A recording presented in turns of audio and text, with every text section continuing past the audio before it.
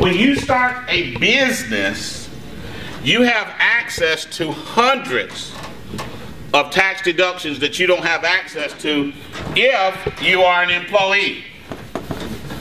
Okay? Now, sometimes people get to that and they're like, well, I don't know if that's legal. I don't know if that's right. Are we getting over?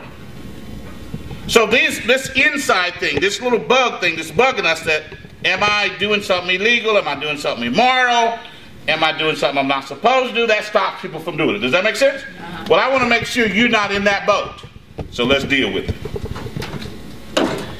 If you buy a house in America, buying a house, paying payments on a house, you get tax deductions, right? Yeah. You get the interest, you get write off property taxes, right? right? So you're getting tax deductions for housing costs. If you rent a house, one just like that one that you're that somebody is buying, next door you rent it. You might even pay more rent than they pay mortgage. Mm-hmm. Do you get a tax write-off? Nope. All right, so you don't get a tax write-off. So it's not unusual for our country for the government to say, we want you to do thus, so we're going to give you tax advantages to do thus. We want you to be homeowners, so we're going to give you tax advantages to be one. We want you to go green, so we're going to give you tax advantages to do it.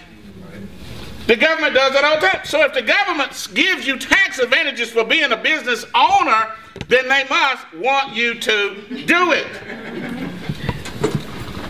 So you're not doing something wrong. Everybody got it? And when you get there, not only can you move your finances to another level, you can build a business on it if that's what you choose to do. You see?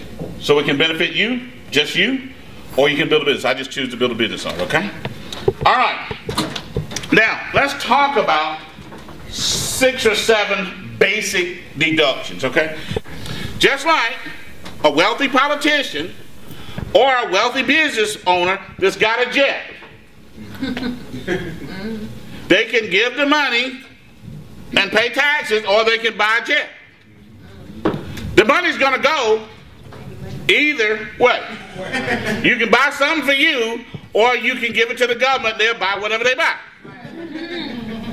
Your choice, right? Mm-hmm. So you got a cell phone. Use it for business, it's partially tax deductible. Internet access, your computer, health insurance. We're talking co-pays, we're talking deductibles or premiums. Okay? Let's go with home office expenses. So you got a business, you make a profit in your business. Now, if you're renting, you can write off part of your rent or lease each month. Your, your utilities.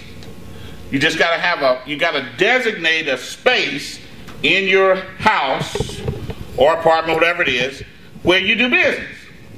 You see, it's a choice. See, some people say, like, well, is the IRS going to do this? No, the IRS gave you the rules.